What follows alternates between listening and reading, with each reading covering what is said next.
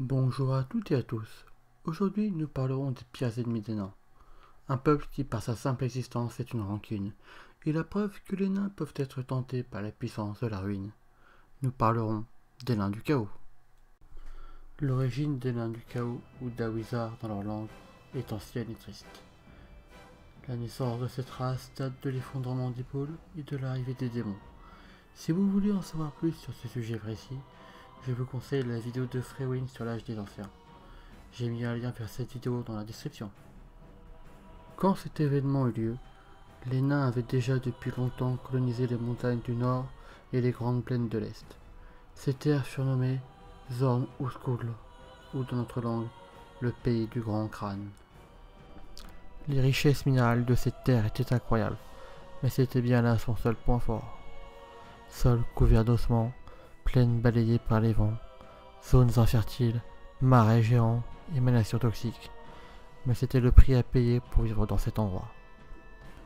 Mais il en fallait bien plus pour décourager les nains. Et en quelques années, cette colonie devient la plus prospère de tout leur empire. Mais dans le vieux monde, rien ne dure jamais et tout se paye. Les portails s'écroulèrent et les démons arrivèrent sur la planète. L'empire nain s'écroula et la colonie du Nord fut isolée et lutta durant de nombreuses années contre ses envahisseurs, pensant que le reste de leur race viendrait à leur secours. Les années passèrent, les défenseurs nains diminuaient les réserves de nourriture faisaient de même. Mais les démons, eux, étaient toujours aussi nombreux. Les nains priaient leur dieu, mais aucun ne répondait. Alors, dans leur désespoir, ils appelèrent à l'aide et demandèrent à quelqu'un ou quelque chose ou n'importe qui de les sauver, peu importe le prix. Cette prière voyagea et arriva jusqu'au Warp.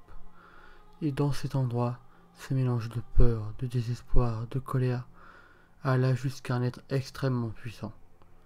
Et tout ceci lui plut. Les hauts prêtres reçurent alors une vision, un immense taureau dont les yeux rougeoyaient comme des braises, et des flammes sortaient de ses naseaux à chacune de ses respirations. Il dit être Achout, et accepter de sauver ce peuple en échange d'une éternité de servitude. Les prêtres acceptèrent, et ainsi naquirent les nains du chaos. Les Dawizards sont maléfiques et orgueilleux. Pour eux seuls leur vie compte, et la place dix autres races est à leurs pieds. Leur capitale, Zarnagund, la cité du feu et de la désolation, a été bâtie par des esclaves. Toute l'économie des nains du chaos repose sur l'esclavage. C'est pourquoi ils envoient très souvent des patrouilles enlever les inconscients qui se risqueraient dans leur empire. Si un être vivant est capturé, son sombre avenir dépendra principalement de sa race. Un elfe finira écorché vif puis sera saigné à blanc. Ses organes seront utilisés comme matériaux alchimiques.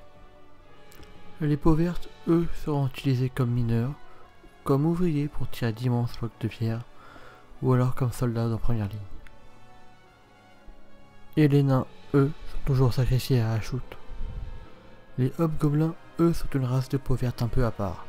Ce sont les esclaves favoris des nains du chaos et ont plus de responsabilités comme contremaîtres.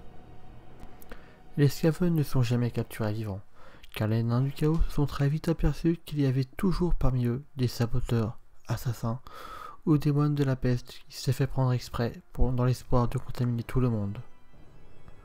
Les ogres sont rarement réduits en esclavage, car très difficilement brisables, et peuvent se mettre à dévorer une quinzaine d'autres esclaves sans que personne ne puisse vraiment agir. Les humains, eux, servent un peu à tout, car leur esprit vif leur permet une certaine versatilité. Les nains du chaos ont aussi créé l'un des fléaux des nains sans le vouloir. Lassés de la stupidité des orques, ils voulurent les rendre plus intelligents, et alors, grâce à la magie et l'alchimie, ils créèrent les orques noirs.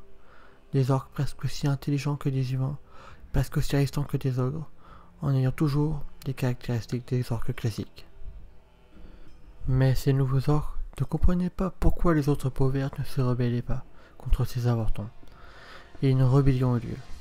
Mais au dernier moment, les gobelins trahirent les peaux et révélèrent tout au nain du chaos. Et depuis ces jours, ils ne furent plus de simples esclaves. Grâce à cette révélation, les chaos purent se préparer et évitèrent de peu la destruction de leur empire. Les grands maîtres de ce vaste empire sont les sorciers prophètes. Ce sont eux qui ont passé le pacte avec le dieu Ashut. Il leur transmet des pouvoirs contre des sacrifices sanglants, ou plutôt brûlants. Car Ashut préfère quand ses offrandes sont précipitées dans la lave ou brûlées vives sur des autels.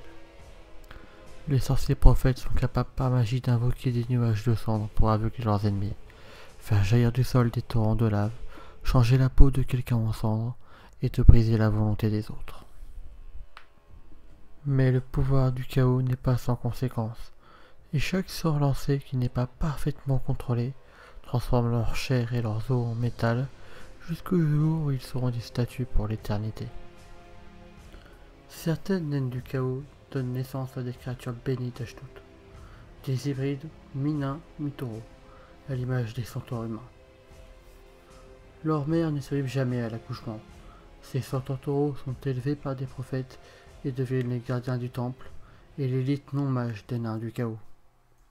Cette vidéo est maintenant terminée. J'espère que celle-ci vous aura plu. Je vous dis à très bientôt. Buvez de la bière, faites votre hache, écoutez du métal et brossez votre barbe.